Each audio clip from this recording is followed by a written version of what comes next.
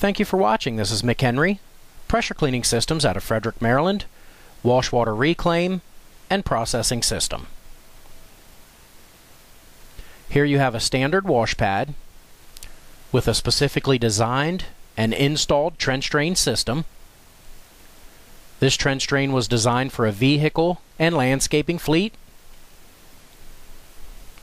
The trench collects the wash water where solids drop out and the processing system begins. The water is then transferred over to the in-ground sump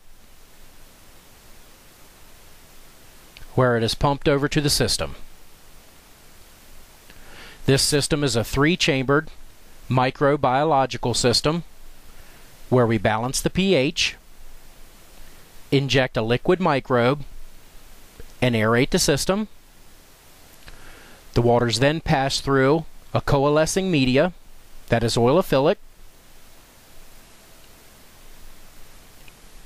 And in the final chamber, we have processed water that meets allowable limits of discharge.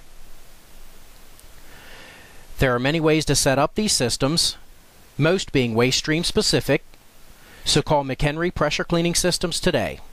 We would like the opportunity to provide our expertise in the design and installation of a system to properly process and dispose of your wash water. Thank you for watching. This is McHenry Pressure Cleaning Systems, Wash Water Reclaim, and Processing System.